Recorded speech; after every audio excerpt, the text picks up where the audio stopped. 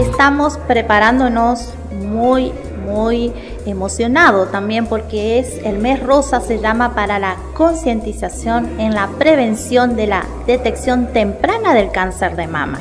Si uno puede llegar a tiempo, también se puede salvar una vida.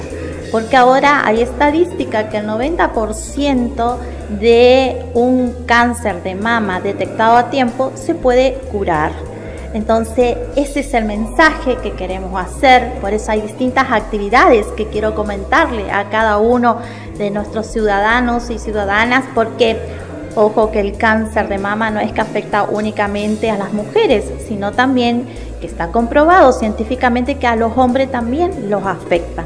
Entonces toda la comunidad tiene que participar en esta gran campaña de concientización que vamos a estar realizando. Este sábado se arranca el primero de octubre. Le esperamos a todos y a todas. A partir de las ocho y media en el centro de salud de la mañana vamos a estar haciendo una caminata, que es la caminata rosa, le decimos nosotros. Sí, ahí vamos a estar todos eh, muy acompañando a todos eh, nuestros familiares, si por ahí tenemos algún familiar o alguna vecina, algún conocido, ¿sí?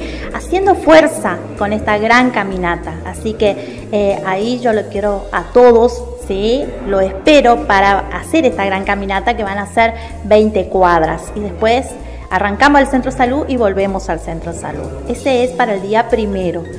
Para el día 19, que es el Día Mundial del Cáncer de Mama, tenemos una actividad justamente acá en la Casa de la Cultura, en donde van a estar también distintos profesionales invitados desde el Hospital Perrando y nosotros también desde acá, y le vamos a estar comentando todo lo que es eh, fundamental en los cuidados.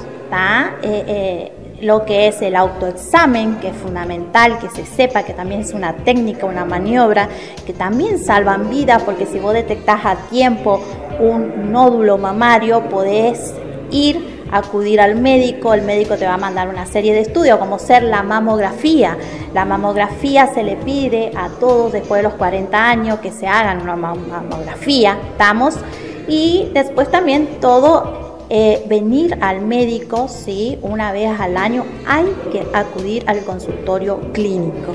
Entonces, es cosas fundamentales donde se va, se va a estar haciendo hincapié en todas estas, prevenciones.